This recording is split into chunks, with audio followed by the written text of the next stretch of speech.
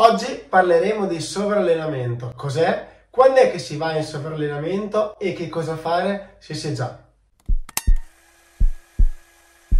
Ciao, sono Anthony, sono il personal trainer delle persone che hanno poco tempo da dedicare a se stesse, ma che vogliono comunque ottenere risultati senza troppo stress. Il sovrallenamento, in inglese overtraining, è una condizione fisica, comportamentale ed emotiva che si verifica quando l'intensità e la frequenza dei tuoi allenamenti superano la tua capacità di recupero.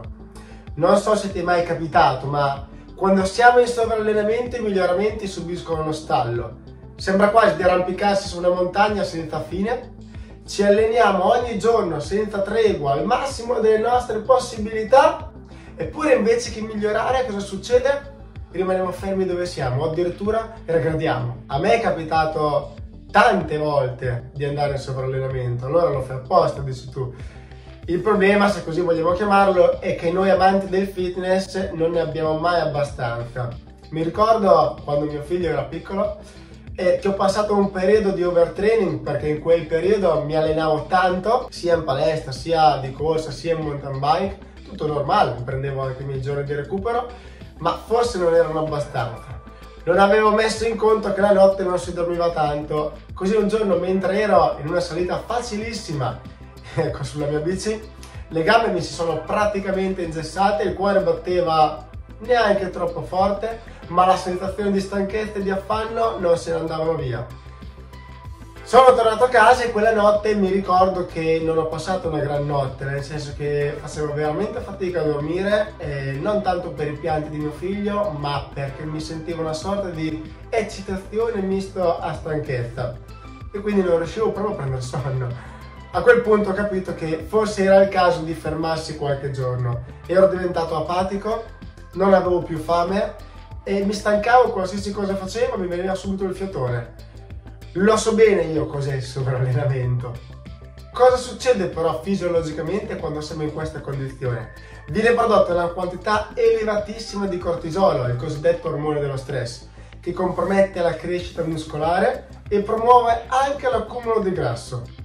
Anche il sistema riproduttivo può essere compromesso. In alcuni casi le donne accusano amenorrea, mentre negli uomini diminuiscono i livelli di testosterone. Per fortuna qualche giorno o un paio di settimane di solito bastano per ristabilire l'equilibrio, ma nei casi più gravi ci vogliono dai due o tre mesi. E i cambiamenti sull'umore, ne vogliamo parlare? Sono un chiaro sintomo di sovrallenamento. La depressione o sindrome da fatica cronica rappresentano la condizione di overtraining più comune soprattutto negli individui altamente allenati. L'attività fisica, ragazzi, deve farci stare bene e se incominciamo a sentire che parte la cosiddetta fissa, è meglio correre subito ai ripari. Inutile allenare il corpo se poi la testa non ci viene dietro, dico io. Quelli sono i classici sintomi da sovrallenamento, ma come riconoscerli subito? Ci sono determinati sintomi che sono alterazione della frequenza cardiaca, stanchezza cronica, nausea, disturbi gastrointestinali, mal di testa, aumento della sete, perdita dell'appetito, interruzione mestruale, indolenzimento muscolare, bassa autostima, perdita di concentrazione durante il lavoro e senso di tristezza. Un sintomo però dell'overtraining più comune si può riconoscere anche dal fatto che ci ammaliamo spesso. Attenzione però non solo all'allenamento, anche calare troppo le calorie può metterci in una condizione di overtraining perché non diamo i nutrimenti necessari al nostro fisico. Quindi sempre farsi seguire da un esperto. Spero di non avervi messo troppo paura, ma questa condizione veramente non la auguro a nessuno. Come possiamo però prevenire questa sindrome da sovrallenamento? Dobbiamo programmare i nostri allenamenti come i nostri giorni di recupero.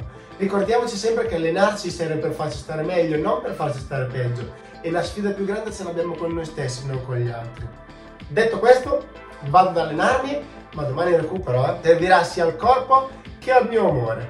Meno stress, più risultati, questo è il mio motto. Continuate a seguirmi anche su Instagram. Segui, io sono in forma.